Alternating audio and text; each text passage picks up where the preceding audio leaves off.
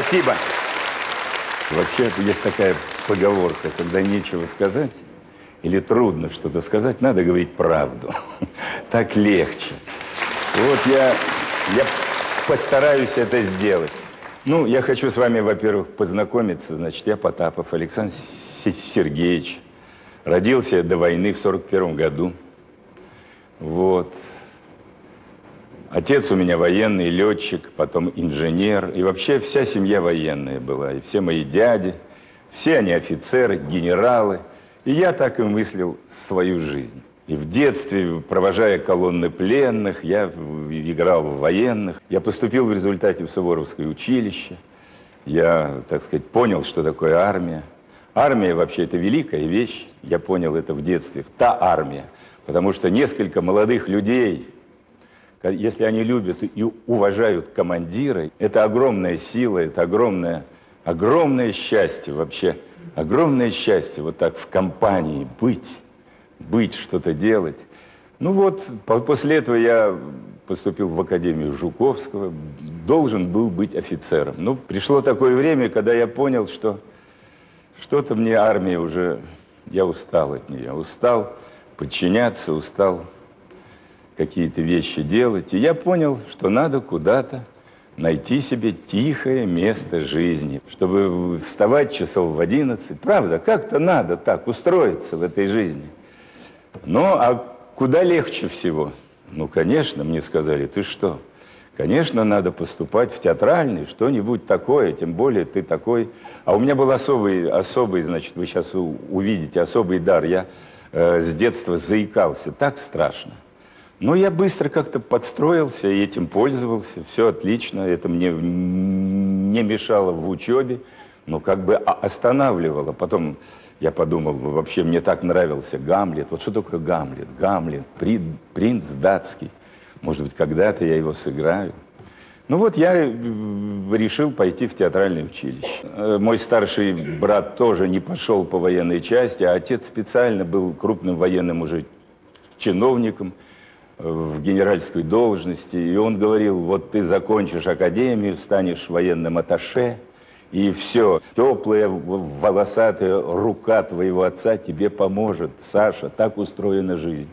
Ну вот как устроена жизнь, молодежь идет своим путем. И я ушел, конечно, стал поступать в театральное училище.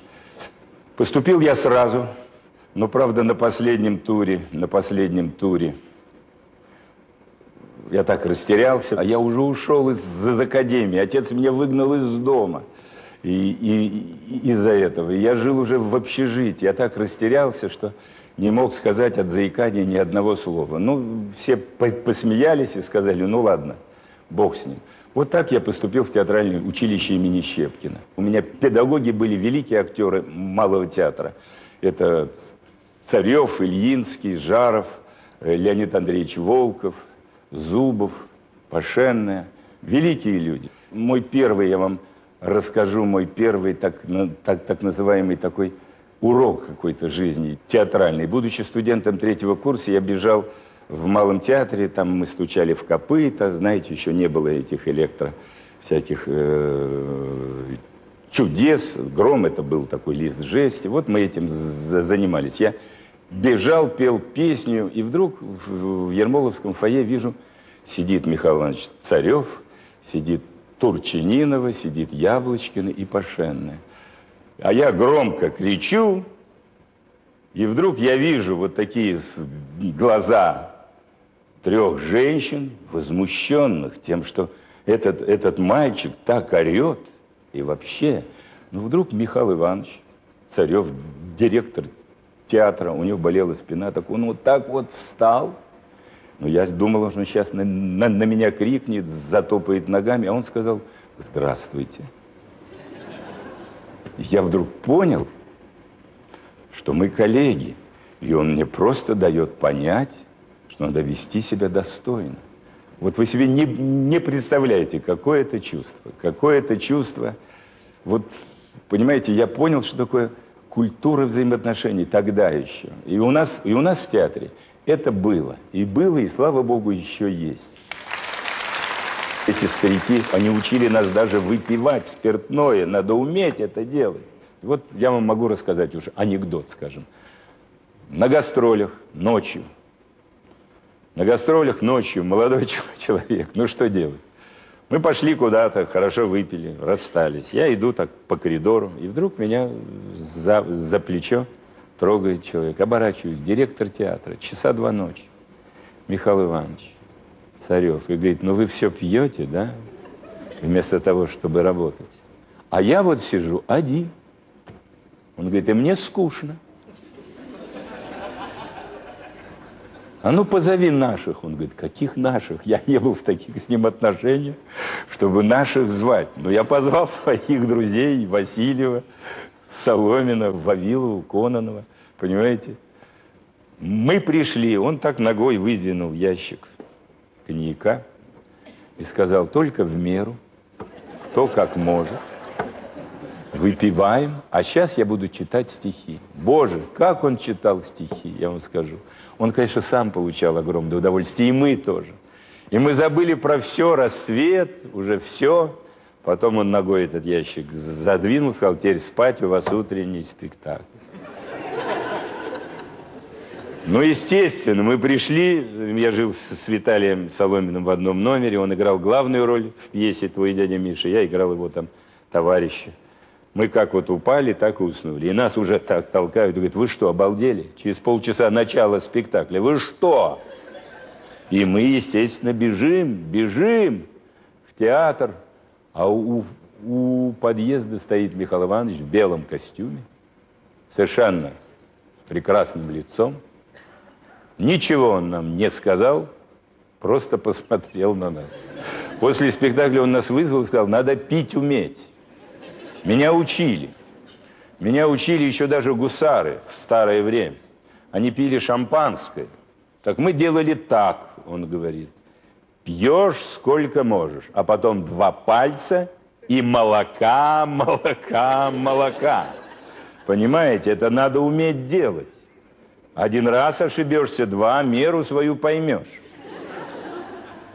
Значит, я закончил те, театральное училище, и меня пригласил сразу на четвертом курсе к себе Любимов в, на Таганку. Значит, ну, Любимов, да, Любимов.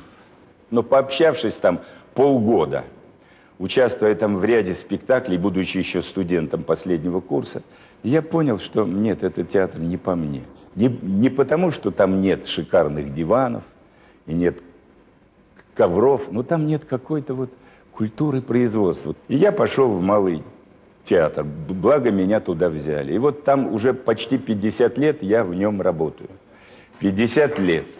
Спасибо. 50 лет я очень много видел.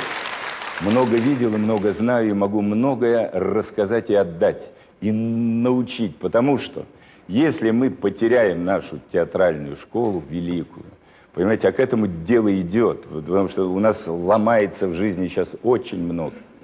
То мы просто очень многое потеряем в нашей культуре, в наших взаимоотношениях, в нашем мироощущении и в восприятии. Вот, я сыграл кучу ролей всяких. Я распределился очень правильно, потому что нас так учили. Надо бежать на длинную дистанцию. Не надо быть первым. Не надо быть первым сразу – я лет 10 я ходил в массовках. И вот постепенно, постепенно, постепенно я стал играть роли. Сейчас я, ну, в, ну, не постесняюсь, так сказать, ведущий артист, потому что я играю такие роли, как городничий в «Ревизоре». Понимаете, ну, скажем, это роль, самая большая роль в мире по тексту. Самая огромная роль – это 4 часа беспрерывного текста. И не рад, что, что напоил. Антошенька, что? Ну что, если хоть одна половина из того, что он говорил, правда? Да. А как и не быть правде? Подгулявший человек все несет на, наружу, что на сердце, то и на языке. Нет, конечно, прилгнул немного. Ну да не прилгнувший, не говорится никакая речь. С министрами играет. И во дворец ездит. Так вот, право. Чем больше думаешь, черт его знает. Не знаешь, что и делается в голове. Просто или стоишь на какой-нибудь колокольне, или тебя хотят повесить. Ну что сказать еще? Я преподаю. Я при- э, стал преподавать только последние годы, последние 12 лет, потому что был просто занят собою очень. Очень был занят собою, своей семьей, тем, другим. И как-то у меня не было такой потребности. Но вдруг Виталий Соломин, мой сокурсник и друг, он, значит, меня пригласил, он вел курс в Авгике, при- при- пригласил меня, я с трудом согласился. Ну что их учить, Господи, кого учить? Ну как это я учить? Но это, но это оказалась любопытная вещь, но произошло несчастье, Виталий умер. И я остался, в общем, на, на этом курсе как бы, ну, за главного. Так вышло, совершенно не имея никакого опыта. Но я многое понял. И вот уже я пришел в Щепкинское училище, где есть традиция, где есть наши актеры, где, в общем, можно это делать. Можно отдать людям то, что ты умеешь. Можно научить их ремеслу. Вот это самое главное. Потому что все говорят талант, талант. Талант – это дело для меня, вот я считаю, ну, может быть, даже третье или пятое в нашей профессии. Главное – уметь что-то делать, уметь дружить, уметь прилично относиться к людям, потому что ты никого в своей профессии не обманешь. Никого. Вот в нашей профессии обмануть нельзя, потому что вы сидите здесь и тоже кое-что видите, понимаете? И так мотаете себе на ус. Ну, он, этот парень сейчас интересничает, этот говорит, мол, я дед, дед такой, а этот, может быть, говорит и правду. И по- понимаете, если есть, э, есть доверие, вера, то а, рождается тогда и все. Потому что если вы мне поверите в какой-то роли, то дальше вы мною будете захвачены. И не только мною, а всем ходом спектакля. Ну что же, какие мои планы в жизни? Планы уже, уже так много лет, что планов я не строю. Потому что в моей жизни тоже пр- пр- произошли такие моменты, когда, я, когда мне казалось, как всем нам, что все впереди, и у меня все в порядке. Мне было 37 лет, и я поехал, это было еще в Советском Союзе, в Америку, сняться в Голливуде. Вот мне так повезло, я был один из первых, сняться в главной роли в американском фильме. Вот так приехали сюда американцы и выбрали меня, боже мой. Ну, наверное, выбрали, потому что я очень дешево стоил. Я потом так думал, понимаете, потому что какие-то великие актеры потребовали чего-то. Я не требовал ничего, я был просто счастлив. И поехав туда, я думал, ну вот теперь весь мир у меня в кармане. Все, я самый главный буду артист, они все. И вот в этот момент меня разбил инфаркт, вы знаете. Это вот как в жизни, это абсолютно точно. Причем инфаркт упал с неба.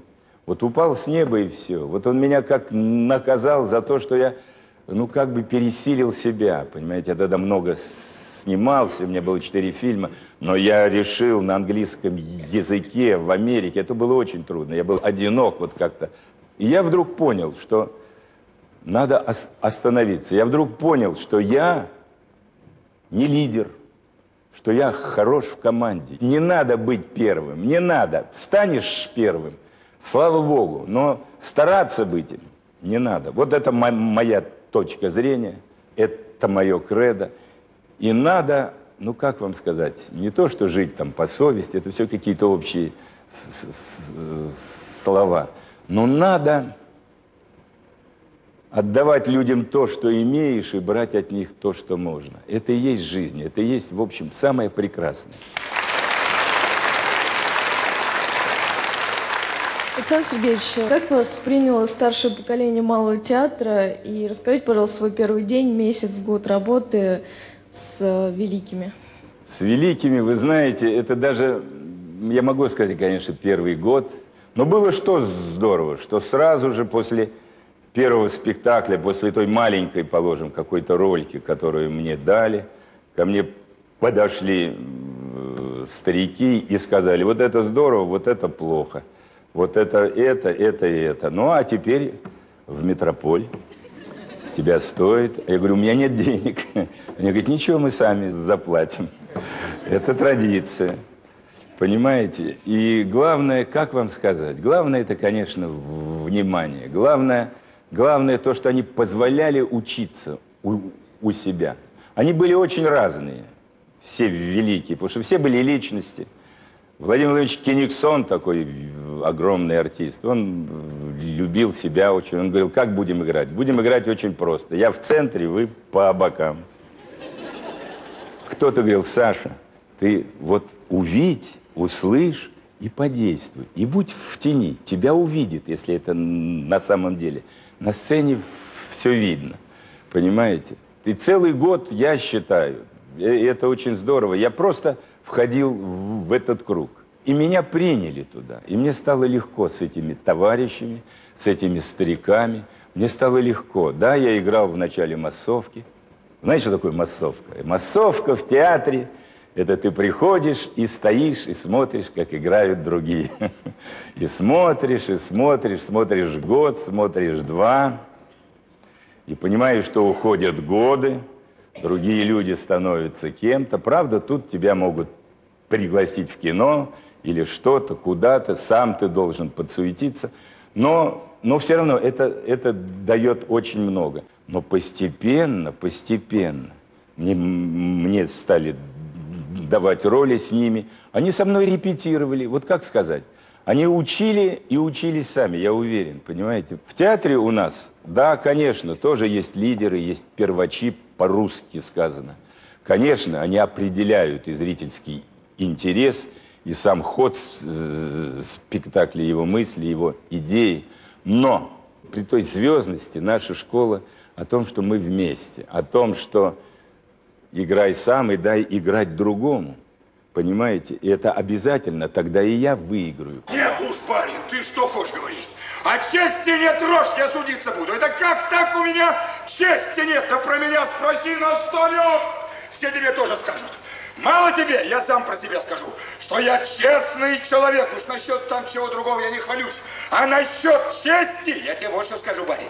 Я не человек, я правила. Ступай. Чего ступай? Довольно, пошел вон. Чего довольно? Нет, ты погоди. А хочешь, барин, я сейчас тебя одним словом убью. Меня? Тебя! Видал ты это? Что такое? Может, твоя тетушка сама забыла. Ну да бог с ней, ты ей веришь. Бери! Бери на свою совесть. Бери сколько хочешь, я не препятствую. Бери! На! И это бери! Все бери! Я ничего не пожалею. Петрушка! Снимай сапоги! Отдай сам. Кто? Кто-то сам. Вот я какой человек. Вы вспоминание меня запишите. Руку. Чего руку? Руку? Ах, руку! Вот давно вы так. Вот я какой человек! Ну что еще в театре было любопытного? Понимаете, для меня и интересного. Ну, интересное было, конечно, сразу. Вот как вам сказать, что такое дисциплина? Меня пригласили в кино на второй год работы в театре. Э, Тодоровский, такой был фильм «Верность». Э, Снимали мы в, в Одессе, Галя Польских, Четверяков, Володя Лев Дуров, Евстигнеев, такой был фильм. Я, значит, естественно, стал сниматься, все. Так вышло, я опоздал на самолет, потому что надо было сниматься. Ну, вы успеете, мне говорили. Я в это поверил, но я опоздал. В результате э, премьеру, премьерный спектакль сыграл мою роль режиссер. Мне объявили строжайший выговор, жуткий совершенно. И говорили, как на премьеру вы, мальчишка, в малом театре не прилетаете. Это не моя вина, говорил я. Он говорит, это нас не касается, вы обязаны быть здесь. Ну, я так расстроился, что не пришел на второй. Я так расстроился, даже, может, немножко и запил, так, с, с друзьями. Понимаете? Да не обращай ты внимания, Саша, господи. Перебьются они. Ну, ты видишь, я второй раз уже. Мне придется из этого театра уйти, а я его люблю. Ничего, ничего. Вот и так вышло, что я не пришел на третий подряд. А до этого меня ругал, ругали крепко и даже матерно, ругали в режиссерском управлении, ругали режиссеры. В общем, и я уже понял, что я все, я из этого театра уйду, потому что, значит, я тут не смогу работать. И я так боком вошел утречком и пошел сразу в отдел кадров, чтобы взять свою книжку, чтобы не встречаться ни с кем. Потому что было очень не- неудобно. И вдруг меня так за, за- за плечо останавливает э, зав трупа и говорит, вас ждет Михаил Иванович Царев, директор театра, немедленно пойдите к нему. Я понял, что это будет. Я понял, что мне скажут все и очень заслуженно три раза подряд не явиться на премьеру. Да что же это такое? Вот я вошел в кабинет. Это тоже вот потрясающе. Это наш театр. Царев что-то пишет, кабинет огромный. Ковер трофейный, немецкий, вот такой, в нем ноги у- утопают, идти трудно.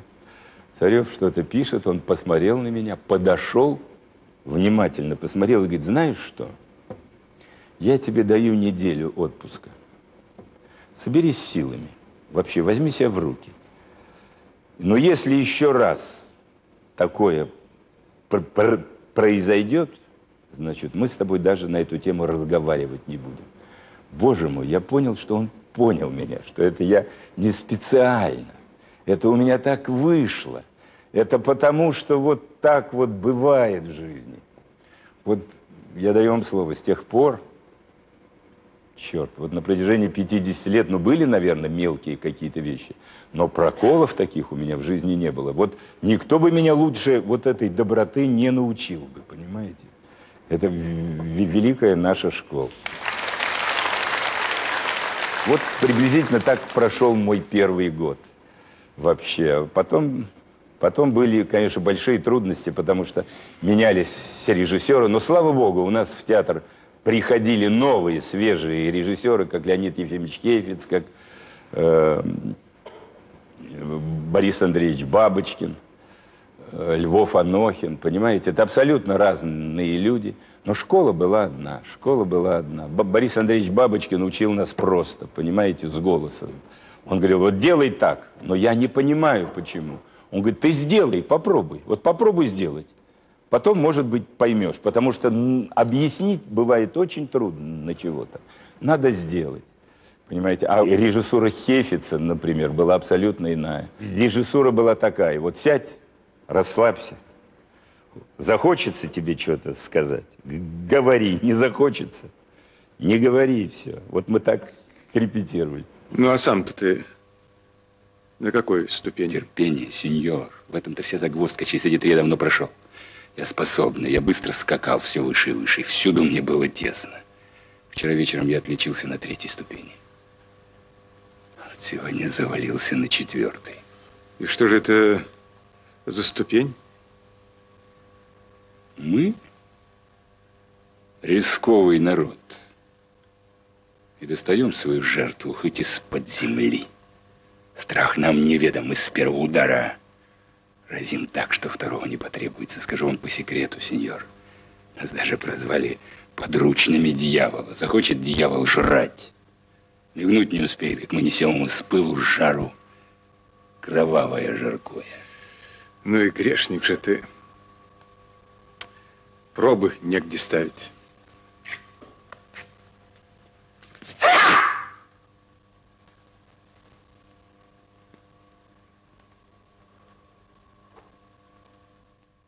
А вот что такое театр? Вот как я понял. Вы знаете, это простая вещь. Что такое театр? У нас вообще очень громко, и публика такая, она так громко кричит в зале, у нас все гременные радиофицированы. Она так кричит, у вот так вот такой гул стоит, как, как на вокзале. Почему, я не могу сказать. Ну, люди, вот так они общаются, кричат, вот, значит, свет постепенно гаснет. Замолкают люди. Так тихо там, как-то, но ты, бы, бы, бы, бы, вот оно замолкает. И вот темнота. Это тебя мобилизует уже. Хочешь ты того или нет, ты уже ждешь чего-то. Вот открывается занавес.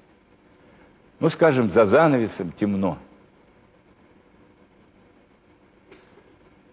И вдруг где-то в уголке какой-то огонек. И ты вот сидя в кресле со своими проблемами, хочешь ты того или нет, так устроен театр. Ты говоришь, что за огонек еще какой-то? Огонек.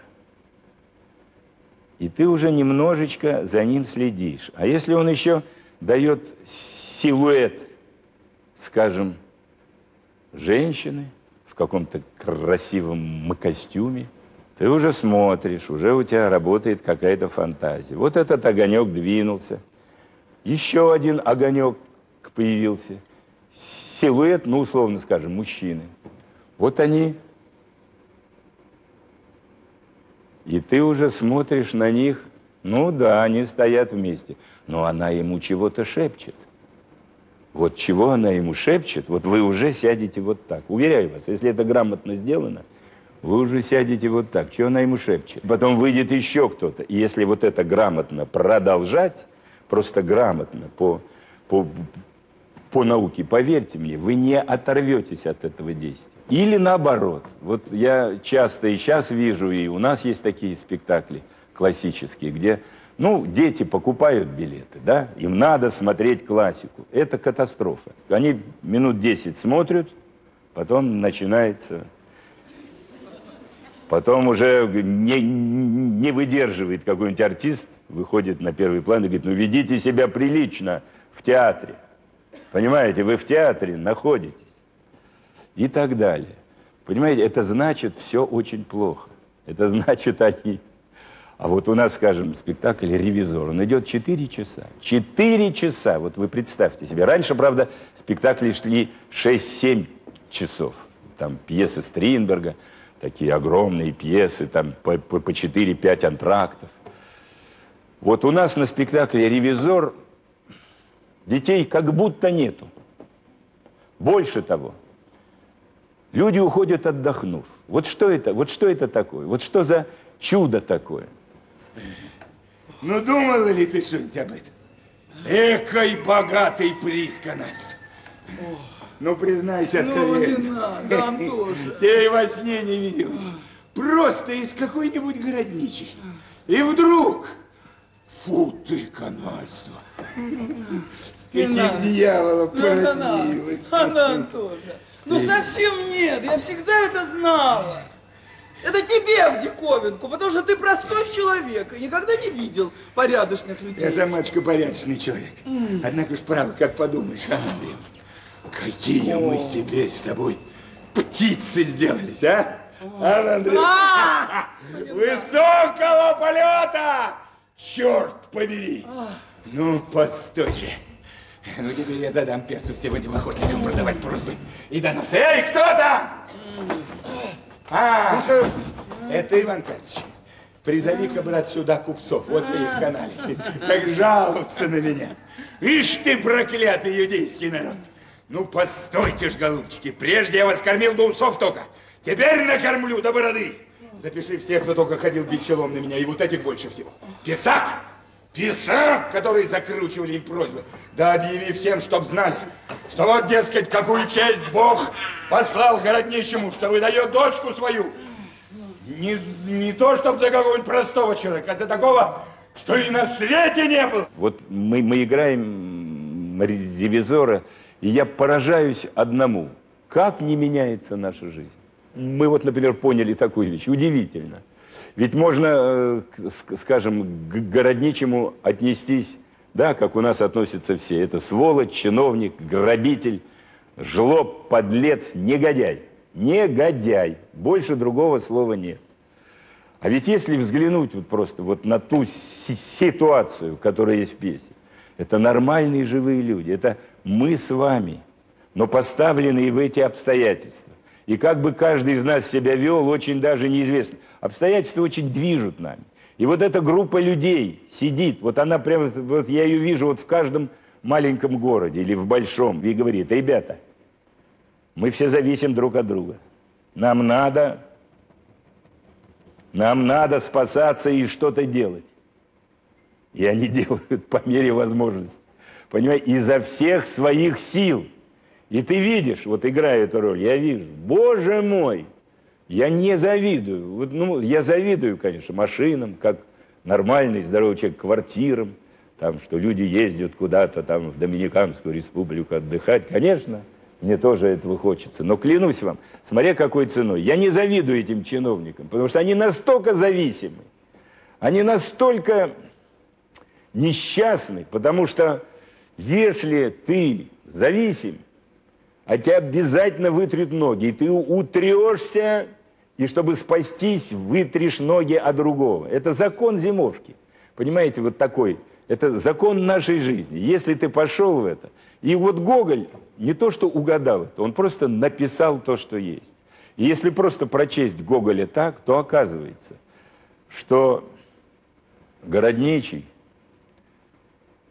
вот понимаете, над ним можно плакать, потому что это несчастный человек. Во-первых, он обманулся, он, он, он проиграл, а потом больше, он прожил жизнь, работал, и полный прокол. Это ужасно. Я уверен, вот понимаете, что в последнем акте люди должны плакать.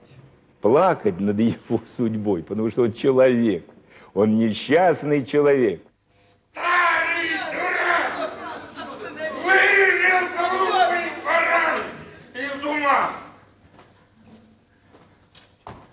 Ни один купец, ни подрядчик не мог провести. Мошенников над мошенниками обманул. Пройдох и плутов таких, что весь свет готов оборовать, поддевал на уду трех губернаторов. Обманул. Да что губернатор? Нечего и говорить про губернаторов. А тоже... Смотрите, весь мир, все христианство. Все смотрите, как одурачен городничий. Дурака. Дурака ему, старому подлецу! Разнесет по всему свету историю. Мало того, что пойдешь по смешище, найдется щелкопер. Бумага Мараков комедию тебя вставит. Вот что обидно. Чина звания не пощадит. И будут все скалить зубы и бить в ладоши.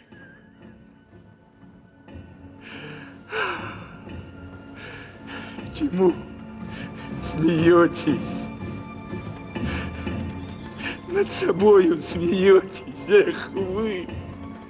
Я вот смотрел ревизоров, ну, я не, не знаю, штук 8 сейчас в Москве. Боже мой, боже мой, в одном спектакле известный актер, киноактер, там играет в кожаном пиджачке и в джинсах. Почему-то, понимаете, он пихает саблей в зад другому артисту. Понимаете? Ну, или, или целый ряд актеров. Потому что прекрасный текст абсолютно, как музыка. Прекрасный текст. Целый ряд актеров – по ряду причин не знают своего текста и говорят от себя что-то. И получается черт знает что. И смотреть на это, я не понимаю, что они делают. Ну, я понимаю, что они играют плохих людей и учат вас, что это люди плохие. Понимаете, их надо не ненавидеть. Вот понять, что это люди плохие, и не делать тоже, только можно понять, только со, им сопереживая.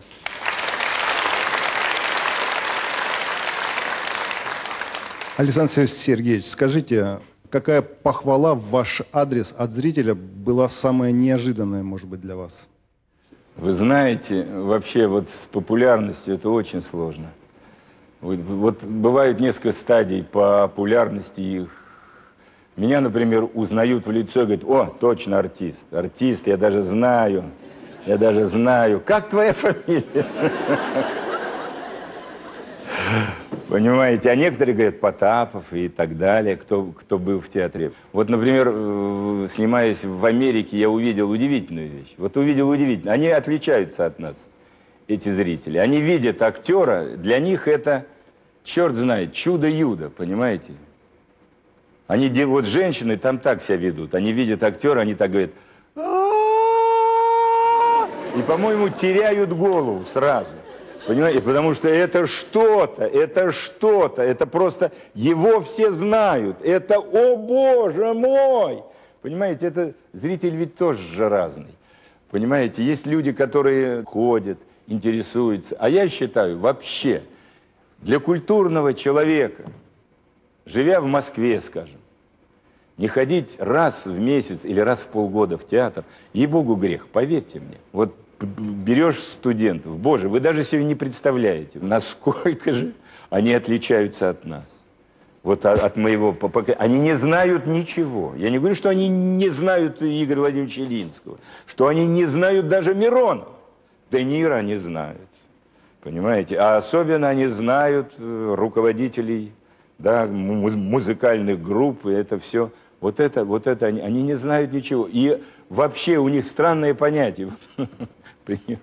Тут студентку 4 года тому, тому назад, я просто ее прошу, давай я сделаю так. Я просто по- посмотрю на твою реакцию, я ударю по столу. А ты неожиданно.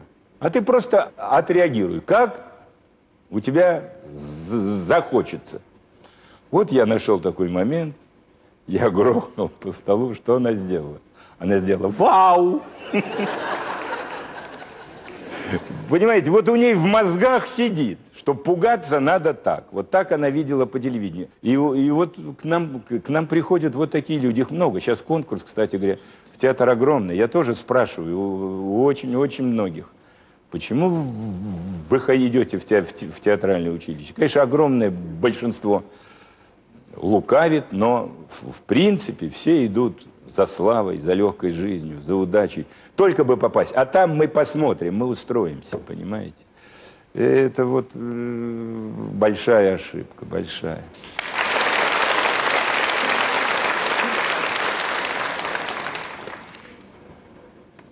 А зачем таких студентов вообще чему-то учить? Вы понимаете, в чем дело? Вот как только правильно ориентировать этих людей и показать им что-то интересное, вы не представляете, как быстро молодежь учится. Поразительно. Как она меняется. И это наша надежда. Это единственная наша возможность изменить нашу жизнь. Я уверен. И поэтому я не буду критиковать там наше правительство или время, но чем мы больше займемся образованием и культурой, тем более наша страна будет, ну, хотя бы нечто из себя пред- пред- пред- представлять.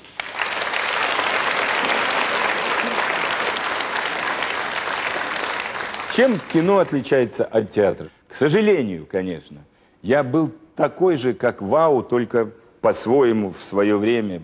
Такой был мальчик из семьи во- военного, где были только самолеты, самолеты, служба и так далее, и так далее. Но там были определенные вещи, понимаете, там была определенная гордость. Я помню, когда я получил государственную премию, отец к ней отнесся так. Ну, это несерьезно, Саша. Это не, несерьезно. И орден твой, это несерьезно. Вот если бы ты по- по- получил за победу над врагом, вот как это трудно. Понимаете, это вот такое отношение. Значит, э, диплом такой, актер театра и кино. Ну, даже в Авгике, вот пр- пр- преподавая, я не понимаю, почему так называется. Учить кино надо учить кино, потому что работать в кинематографе гораздо, гораздо менее интересно и гораздо более трудно.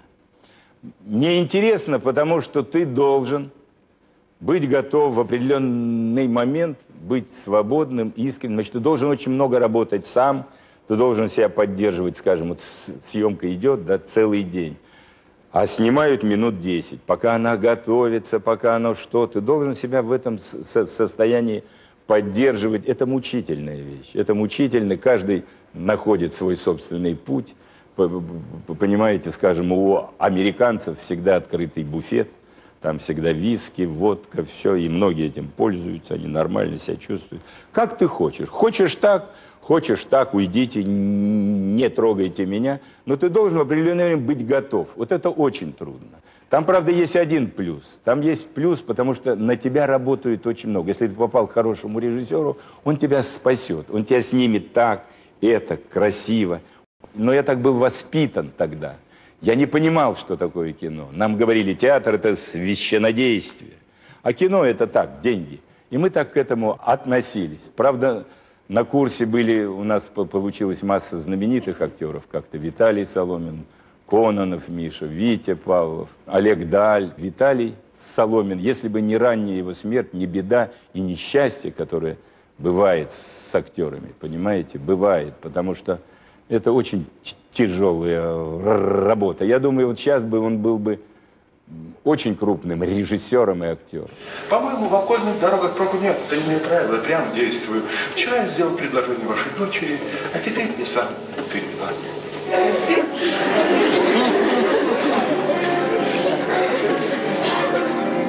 Но ведь это так трудно. Это такая трудность, что я попросил бы вас дать нам некоторое время пораздумать. Я полагал, что вы имели время раздумать. Нет, мне Антон только сегодня сообщил. Я не об этом говорю, я уже несколько месяцев езжу к вам в дом, и вы имели время раздумать. Нет, я ничего не думал.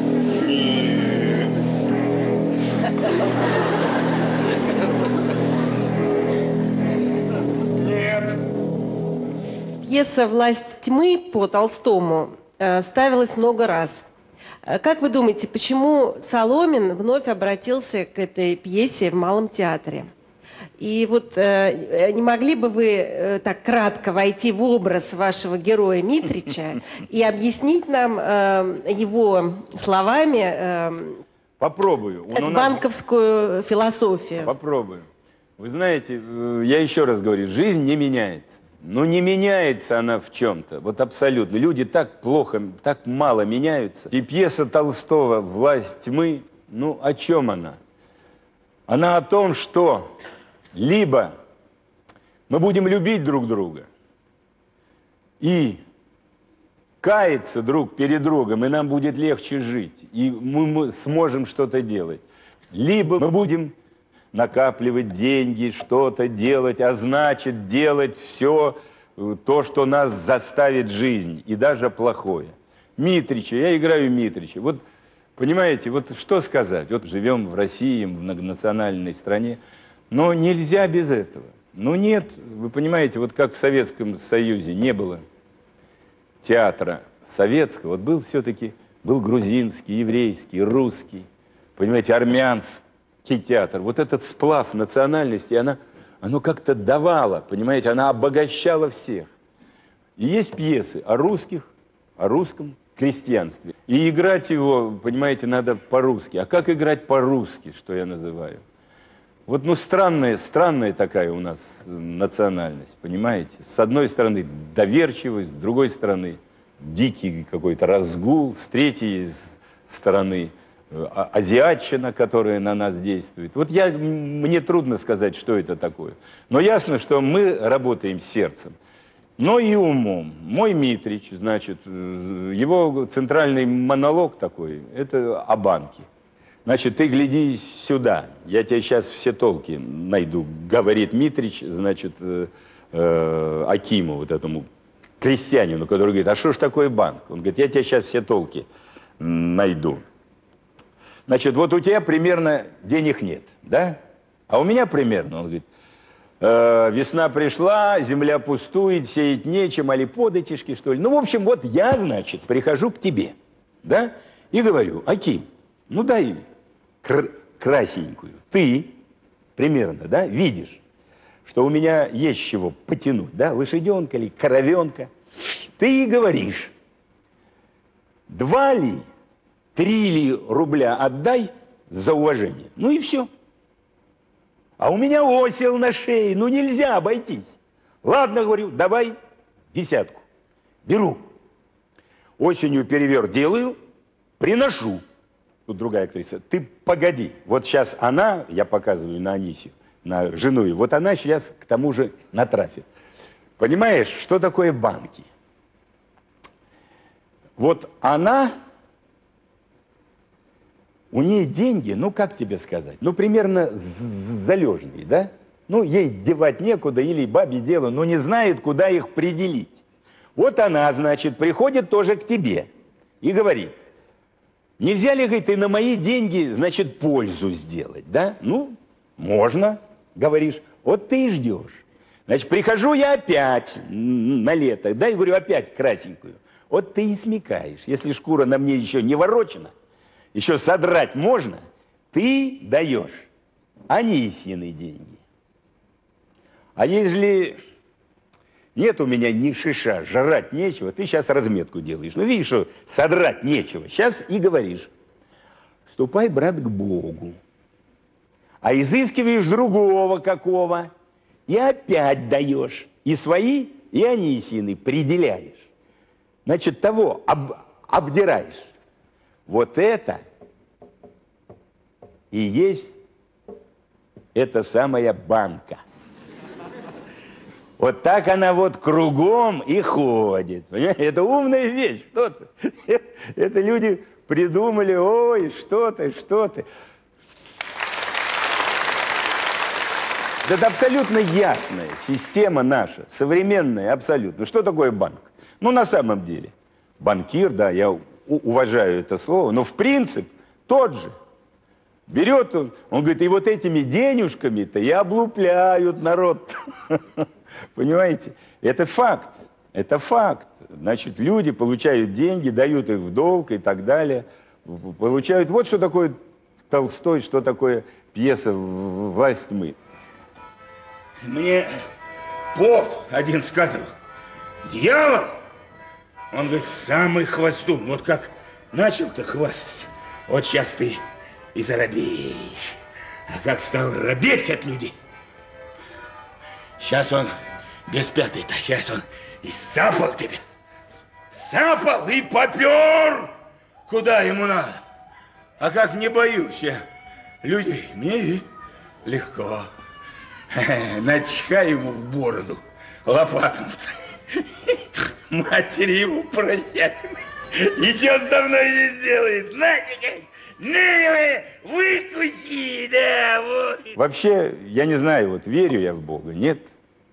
Но я думаю, что есть Бог, потому что, потому что есть какое-то равновесие. Я уверен в этом. Да, все не так просто. Но я вижу тысячу раз люди, которые обманули, на их детях это сказывается. Вот я просто вижу, вот я уже прожил много лет, вот в этом что-то есть. И поверьте мне, как мне кажется, от этого суда уйти трудно. Вот оно так устроено, черт подери. Вот как ты сделал кому-то плохо, тебе это вернется. Вот вы знаете, это понимаешь только потом. Сделал добро, вернется добром. Чем лучше ты относишься к людям, тем лучше они к тебе, какие бы они ни были. Вы знаете, вот так устроен мир наш. И вот так написана эта пьеса. Вот поэтому она вечная, понимаете? Она вечная, она великая, но она русская пьеса. Я все ответил вам. Спасибо. Я просто хочу, чтобы мы все вместе с вами относились к нашей жизни и весело, и серьезно. Понимаете, и жили, и, по крайней мере, делали добро. Делали добро и любили. Понимаете, это самое, это самое важное. Спасибо вам большое.